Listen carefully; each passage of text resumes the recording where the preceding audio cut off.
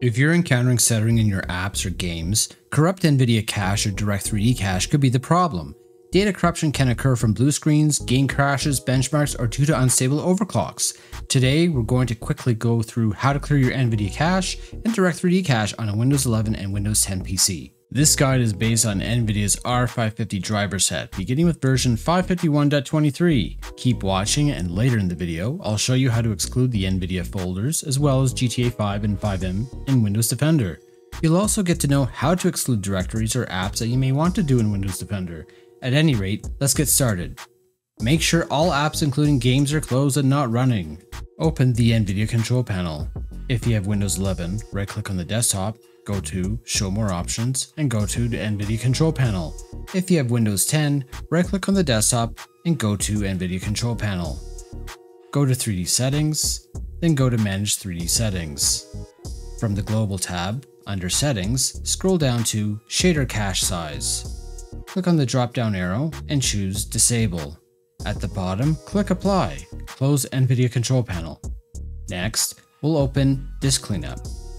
Go to the search bar and find Disk Cleanup. Open the app.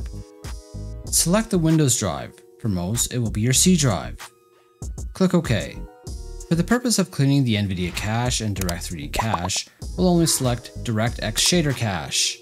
Make sure only the DirectX Shader Cache is checked and hit OK. When prompted to permanently delete the files, click on Delete Files.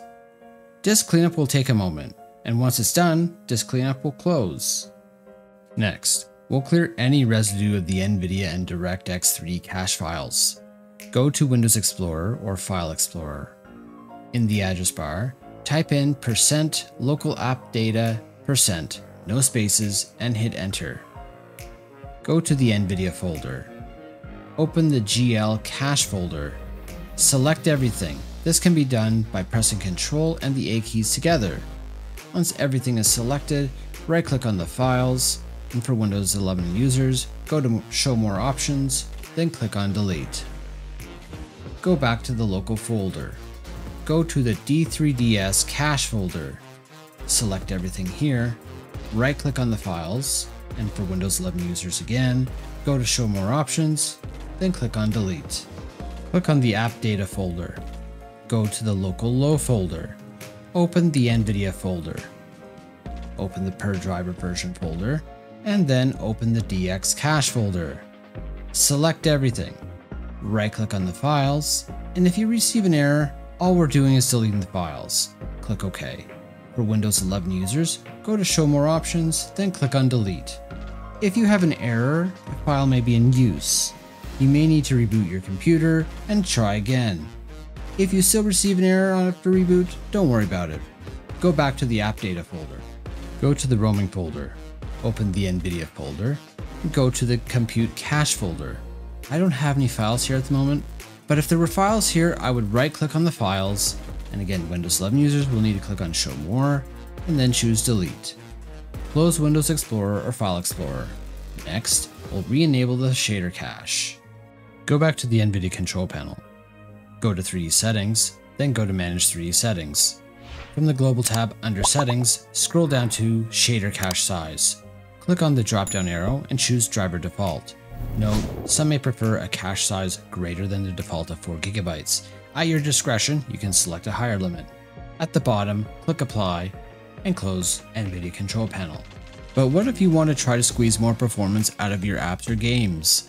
If you're using Windows Defender in Windows 10 or Windows 11, you can add exclusions to stop Windows Defender from scanning certain files or folders. I've made a file to quickly add the NVIDIA folders and Direct3D cache folders to Windows Defender. This can save time from doing it manually.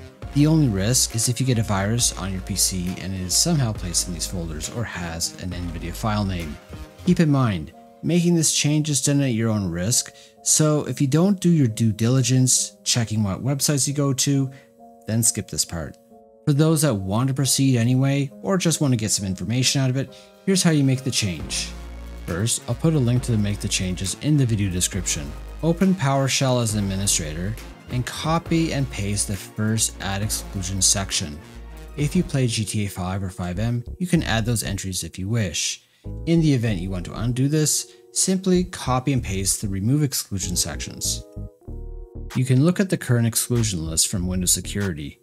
Go to the search bar and type Windows Security. Go to Virus and Threat Protection. Under Virus and Threat Protection Settings, go to Manage Settings. Scroll down to Exclusions. Go to Add or Remove Exclusions. You'll see a pop-up from Windows User Account Control.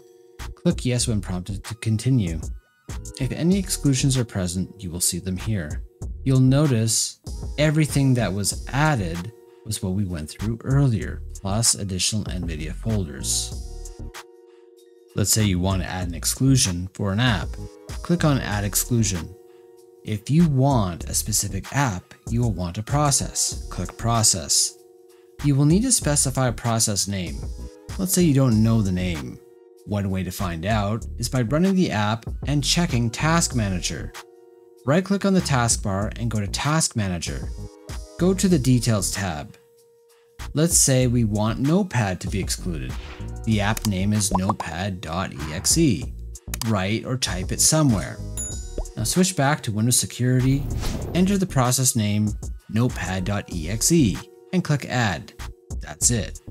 If you want to remove the app, simply find the app in the exclusion list. Click on the down arrow and choose Remove. For files or folders, you will need to browse for the files or folders. The process is the same to remove them. Now that's a basic summary of how to add or remove exclusions in Windows Defender. I hope this has helped you. I hope you're getting more performance and I hope the setup problems are addressed for you. If this video has helped you, consider giving it a like. If you have ideas on future videos, let me know in the comments. Subscribe and turn on the bell if you want to see future videos. Follow me on X and Twitch for updates. Have a great rest of your day, and I'll catch you later.